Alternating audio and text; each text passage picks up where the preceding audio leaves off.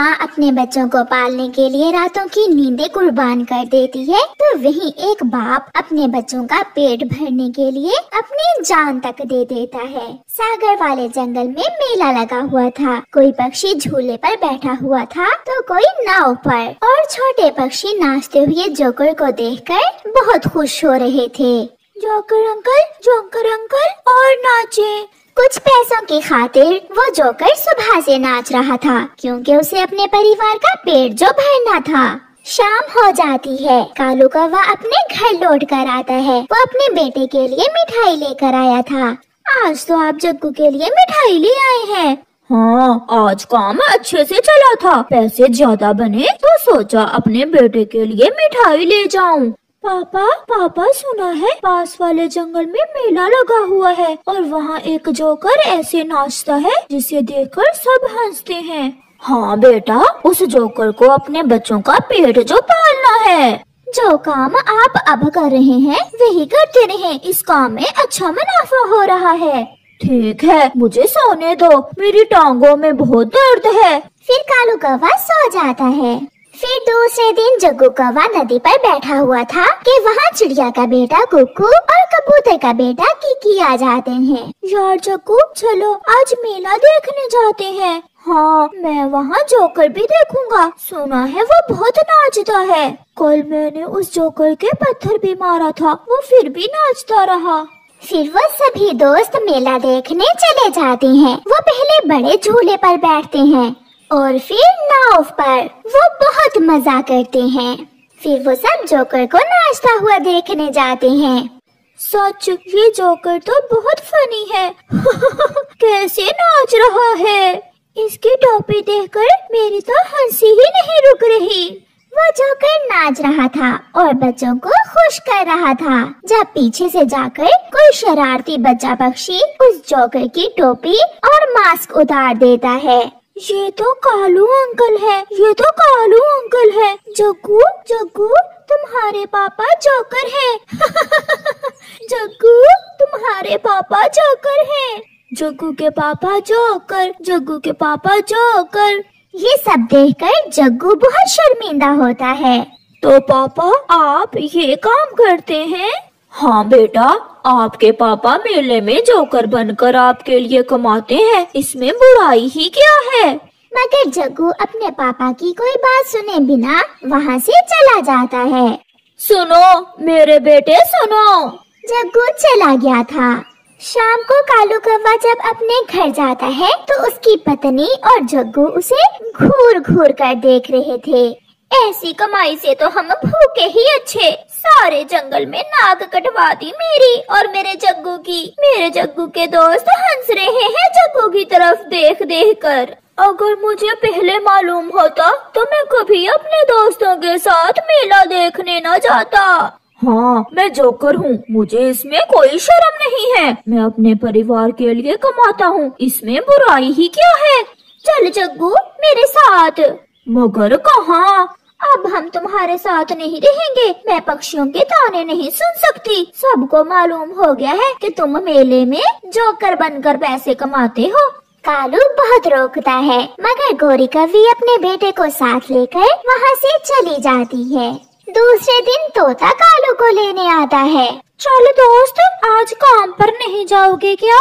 सबको मालूम हो गया कि मैं मेले में जोकर बनकर पैसे कमाता हूँ। मेरी पत्नी और मेरा बेटा मुझे छोड़कर चले गए हैं। मैं उन्हें रोक न सका। ऐसा कहते हुए कालू कौवा मिठू के गले लगकर रोने लग जाता है। वो क्या जाने कि एक पिता को अपने परिवार का पेट पालने के लिए क्या क्या करना पड़ता है? जाओ दोस्त मैं नहीं जाऊँगा। मेरी तबीयत ठीक नहीं है। गौरी अपने बेटे को साथ लेकर अपनी माँ के घर चली जाती है। वहाँ जाकर उसे मालूम होता है कि उसकी माँ तो दो दिन पहले ही मर गई थी। वो थोड़ा रोती है और फिर अपने बेटे के साथ उसी घर में रहने का फैसला करती है। समय गुजरता गया। फिर कुछ दिनों बाद कालू कौवा बीमारी के कारण मर जाता है। वो तुम दोनों की वजह से मरा है? वो बहुत परेशान था। जब से तुम उसे छोड़कर आए, वो न खाता था, न पीता था। गोरी और जग्गू को मिठू कालू के मरने का बताकर वहाँ से चला जाता है। गोरी थोड़ी देर अपने पति की याद में रोती है। थोड़े ही दिनों बाद गोरी के पास जो था, वो खत्म हो जाता है और वो अपने बेटे से कहती है, जग्गू बेटा, घर में खाने को कुछ भी नहीं है। अब तुम जाओ और कोई काम धंधा करो। माँ, अभी मुझसे ये काम वाम नहीं होते। जब समय आएगा, मैं कर लूँगा। फिर गौरी अपने बेटे का पेट भरने के लिए चील के घर में काम करती है। वो चील के बर्तन धोती है। वो चील के घर में सफ़ाई करती है। वो चील के वॉशरूम साफ़ करती है। कालू, तुम सच्चे ही थे। मैंने तुमको छोड़कर बहुत बुरा किया। संतान को पालने के लिए सब करना पड़ता है। तुम तो एक चौकर बने थे। और मैं मैं दूसरों के घरों में काम करती हूँ। कुछ दिन ऐसे गुजर जाते हैं और फिर एक दिन गोरी कवि बीमार हो जाती है और वो मर जाती है। अब रह गया था अकेला जग्गू। वो अकेला था, इसलिए उसे ज़्यादा काम ना करना पड़ता।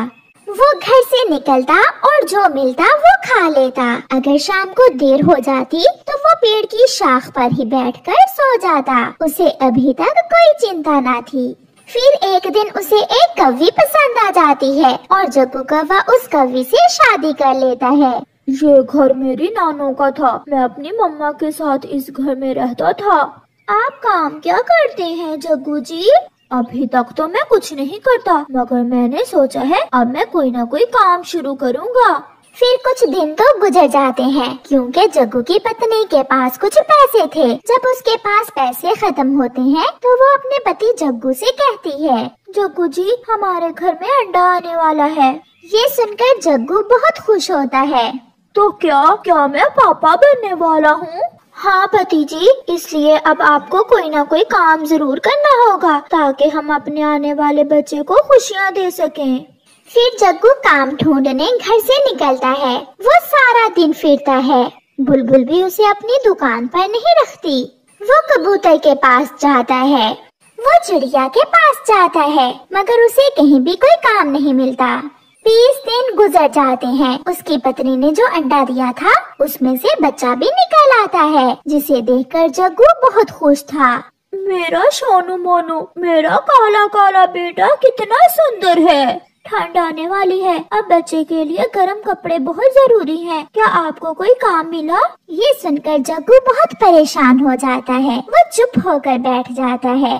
दूसरे दिन वो फिर से काम की खोज में जाता है। उड़ते उड़ते वो अपने पिता कालू के घर के पास से गुजरता है। तो उसे गुजरा समय याद आ जाता है। अपने पुराने घर में जाता है। वहाँ कुछ पंख उसके पिता के टूटे हुए पड़े थे। वो सारी बातें उसकी आँखों के सामने आती हैं। पिताजी आपने जोकर बनकर मुझे बहुत शर्मिंदा किया है। सब मेरा मज़ाक उड़ा रहे हैं। अपने परिवार को पालने के लिए सब करना पड़ता है। फिर जग्गू की नज़र थोड़ी दूर पड़ी जोकर वाली टोपी और मास्क पर जाती है। कुछ देर सोचने के बाद जग्गू वो टोपी और मास्क उठाता है और सागर वाले जंगल में लगे हुए मेले में पहुँच जाता है। आज फिर वहाँ एक जोकर नाच रहा था, जिसे देखकर बच्चे बहुत खुश थे। और वो कालू कौवा नहीं, बल्कि वो जग्गू कौवा था, क्योंकि उसे अपने बेटे के लिए भोजन लेकर जाना था।